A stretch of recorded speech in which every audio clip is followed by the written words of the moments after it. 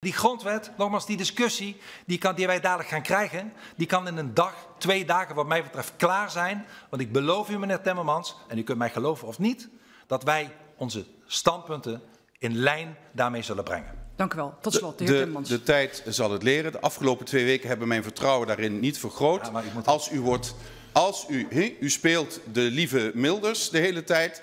Eh, op het moment dat u kritiek krijgt eh, van collega Omtzigt, eh, dan eh, eh, wordt, eh, liked u ineens een bericht waarin hij voor een katholieke gluiperd eh, wordt uitgemaakt. Dus uw zelfbeheersing hmm, is nog niet helemaal op orde. U doet me echt denken, ik weet niet, ik zal u een klassieker noemen, Nemo. In Nemo komt Bruce voor. En Bruce is een grote witte haai die heeft afgesproken met zichzelf, ik ben nu vegetariër, ik eet geen vissen meer. Totdat hij bloed ruikt en dan wordt hij weer de haai zoals hij altijd is geweest. Zo zie ik u, Ja. eh, meneer Wilders. Als u de kans krijgt, zult u de democratische rechtsstaat van dit land ondermijnen. Ik wil u die kans ontzeggen. Dank u wel. Uw punt is helder. Nou ja, voorzitter, Ik zou wel iedereen willen vragen om niet bij alles te gaan roffelen. Ja, nee, ik heb het een ja. beetje de ruimte Kijk. gegeven, maar ik wil, zou- wil toch voorkomen dat we het hele debat door, Ja. al door naar iedere opmerking gaan roffelen.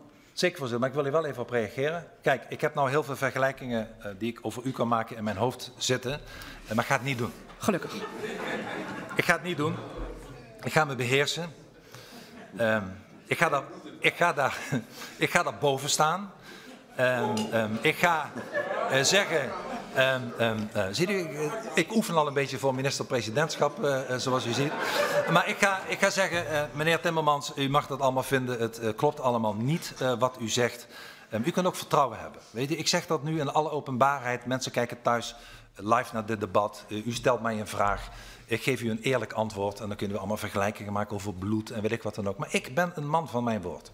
Als ik u zeg dat wij gaan kijken in een gesprek eh, waar het wel of niet, en soms zal dat niet zo zijn, dan hoop ik de colleges te overtuigen dat er niets moet worden aangepast, maar soms wel. En soms moet ik voorstellen intrekken. Ja, dat zal ik dan ook doen. Ik zal aan Nederland, aan de Kamer, aan de fractie van de heer Omtzigt en iedereen die wilt horen, zal ik laten zien dat wij onze regels aanpassen aan die grondwet.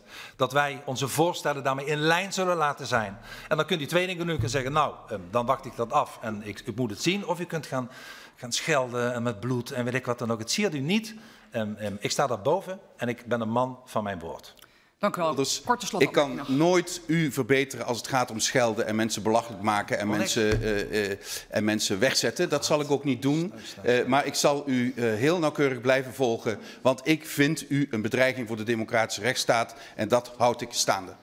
Nou, ik hoop dan eerlijk gezegd, voorzitter, dat u het niet over mij heeft. Want dat zou ik wel heel pijnlijk vinden. Maar misschien over mijn ideeën of partij, dat vind ik al kwalijk genoeg. Maar ik hoop niet dat dat over mij persoonlijk gaat. Want dat zou ik wel een hele vervelende aantijging vinden, voorzitter.